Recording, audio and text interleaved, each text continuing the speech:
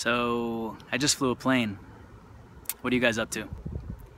I'm wondering if, you know, the reason for putting this on my list was just so I could wear, have a reason to wear this hat and these goggles. Because that, that alone uh, seems like a worthwhile endeavor for a 40th birthday or for any birthday really. I mean, I feel pretty awesome and obviously look pretty awesome right now wearing this hat and these goggles, but I'll, I'll, I'll do a, a, transition from uh, World War II fighter pilot to uh, my Top Gun pilot style. That was pretty cool. Uh, it was just, it was me and one other dude in a, uh, not another dude, a pilot, obviously, with some credentials. He's done this before.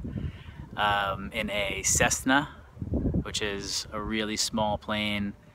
Uh, there were two seats in the back, but between the plane's weight and my weight and the pilot's weight, probably couldn't fit more than uh, my four-month-old son back there. But there is room for four, I guess, children, hypothetically, to fit in this plane. So really small, really tight and cozy, cuddled up to my uh, my boy Pat. And uh, it was a cool experience. Glad I did it. The plane, even so it's small, it's like really powerful. Like I kept thinking power while I was up there. Um, I didn't do much. He did most of it. He let me play around for a little. I was in the pilot's seat. He was in the passenger seat, so I guess that was I was the lead guy. Had my headset on, talking to the tower.